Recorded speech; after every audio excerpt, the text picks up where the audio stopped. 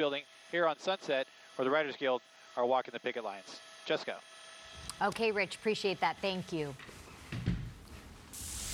Two people have been hospitalized after an LAPD transit officer shot and wounded a man who attacked two people at a metro station, stabbing one of them.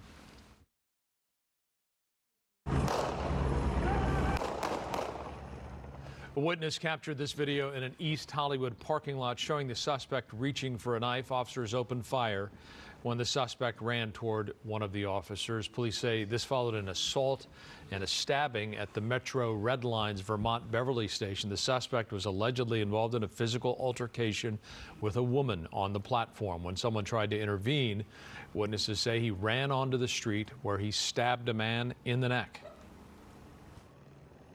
They um, ask uh, him many, many times, just drop down the knife and lie on the ground, and uh, and then he he tried to run away. Officers gave commands. Suspect produced the knife, and an officer involved shooting occurred. At this time, we don't know the relationships or the motives. The unidentified suspect and the wounded victim are both hospitalized in stable condition.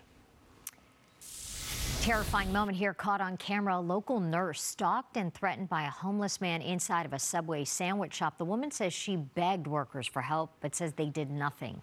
KTLA's Mary Beth.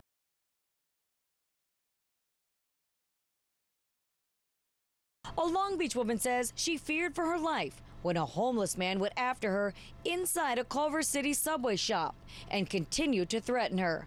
Halima Othman tells us she first spotted him outside the restaurant located on Sepulveda Boulevard near Venice, about a block away from a homeless encampment. This man says some things to me, and then he starts talking about a hitman. He's I owe him money, called me Carol or something, and I was like, this man is deranged. She says it was in mid March, about 3 p.m., when she went into the subway to order food and noticed the man had followed her.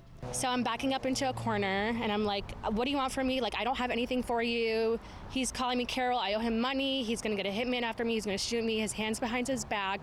I think it's a gun. Othman tells us she begged the employees to help her while she took cover behind a chip rack. I, I, was begging, like I was begging them, and then I was like, "Oh, I'm actually, I'm probably going to die." But she says they just watched and continued to make sandwiches. They look at me, don't do anything. I'm like, please call 911, do something.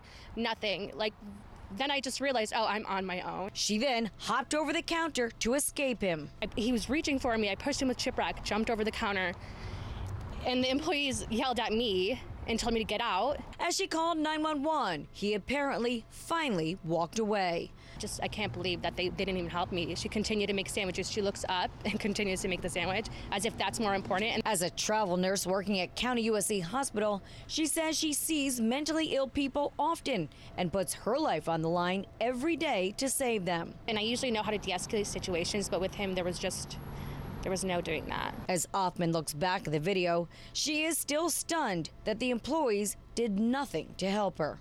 I really want this to have a ripple effect on people, um, to just do better and help each other, help protect each other. Mary Beth McDade, KTLA 5 News.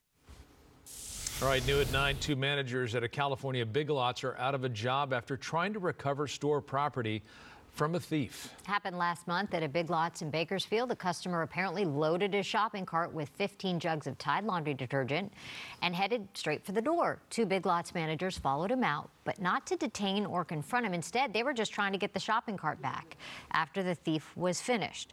Two managers recorded the thief with their phones, and the suspect climbed out of the car and ran away.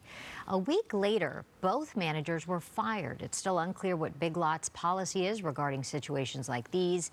They've not commented on the matter. Nordstrom planning to close both of its stores in downtown San Francisco this summer. Retailer says it will allow its lease to expire inside of the Westfield Mall after being in operation for 35 years. Company cites changing dynamics for the closures, saying business remains slow as the city struggles to recover from the pandemic. Westfield Mall says Nordstrom's closure is the latest example of, quote, the deteriorating situation in downtown San Francisco. In addition to rising costs, crime rates in the city also up. San Francisco's flagship Whole Foods store shut down last month after being hit with 560 calls of violence and drugs over the past year. Oh, we tried to give them the most upbeat leads imaginable. Help us.